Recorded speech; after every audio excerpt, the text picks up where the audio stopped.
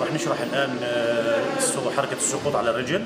ونشوف كيف آه، فائدتها من المصارعة في الإم راح نشرح الآن السقوط من الجنب على الرجل. راح تكون من خلال الصراع. راح أستنى رجل اللاعب لما تيجي بالشكل المناسب عندي للأمام. هون وأنزل على الرجل ببطء هيك. ايدي اليمين هون الشمال هون من برا واليمين من جوا. وأرفع الرجل زي هيك أوكي بعدين أبدل إيدي اللي هي الشمال هون من تحت وأرفع اللاعب واسيطر عليه